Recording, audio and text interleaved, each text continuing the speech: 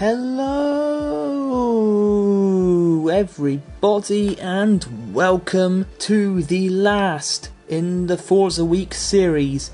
A series which has aimed to find the best car in all of Forza Motorsport 4, and consequently Forza Motorsport. It's been an interesting list. We have seen the Dodge Charger SRT8, the BMW 1M, the Honda NSXR, the Mosler MT900S, the Audi RS5, the Aston Martin V12 Vantage, the Porsche GT3, 911, 997 RS, the Mercedes-Benz SLS AMG 6.3, although it's only a 6.2, the Bugatti Veyron 16.4 quad turbo, and the Lamborghini Aventador with as near as makes no difference 700 brake horsepower. But now we arrive at number one, and the number one is the Ferrari 458 Italia. It is my namesake's. Uh, pretty much. Uh, whenever I play PlayStation uh, Network, whenever I play on Steam, my name is F458 Chunnia, and Chunnia is the name that I go by on this YouTube channel mostly. But why? Why is this car the best in Forza, and why, more importantly, is it my namesake's? Well, it's all to do with the car itself. It has a 4.5 litre V8 engine producing 562 brake horsepower and 398 pounds per square foot of torque which is quite a lot if you think about it. Which means it manages to do 0 to 60 in 3.3 seconds and achieve a top speed of 202 miles per hour. So there's no doubting the V8 Ferrari has gotten properly fast over the years. But this car is more than is more than just speed deep. You see, this car can handle and handle brilliantly, and there's a lot of reasons for that the gorgeous body that you can see on this car is not there just to look good. It is there to make it good in the corners. As you if you look at the top of the front wheel arches, you will see a little gap in the bodywork. That is to let air escape from under the wheel arches because if uh, too much air gets in there, the spinning wheel creates lift. That lifts the front of the car up, makes handling worse. You know, results in understeer. They have also crafted the front wings of this car. They sort of have active Formula 1 style wings.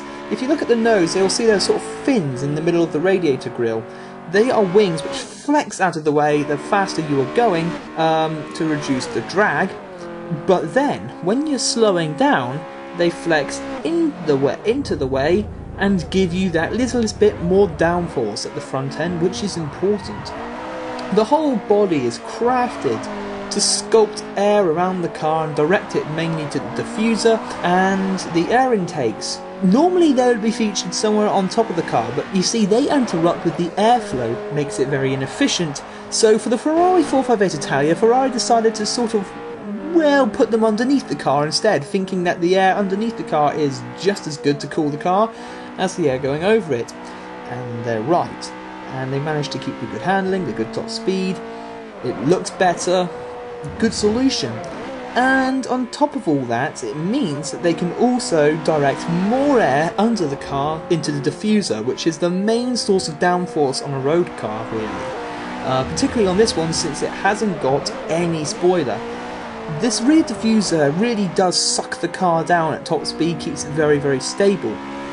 Also keeps it very stable in fast corners, which will stop you from sliding at 120 miles per hour. Because let's be honest, you really do not want the ass of the car kicking itself out at 120 miles per hour. Trust me, I know. And then, if all of this still isn't enough, they have an incredibly complicated rear suspension system which keeps the rear tyres just rooted, glued to the track at all times. And what that means is they've also been able to fit the car with an incredibly fast rack. I mean, you turn the wheel a tiny bit, the, the front just goes, just goes where you want it to, without any questions asked. All of this really translates into Forza, and on top of that, most cars on Forza, and I have said this before in the BMW 1M video from earlier in the week, most cars they, they, they go really really fast but then the brakes are just shocking. They will have worse brakes than some of the cars that are slower than them and that means that you really do have to be braking really really quite a fair bit more early than you should.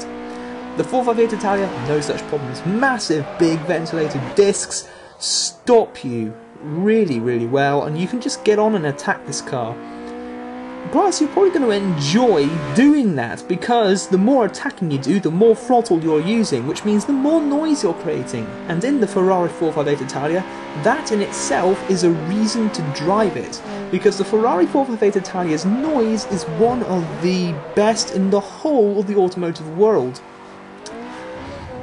Have I convinced you yet that this is the number one car?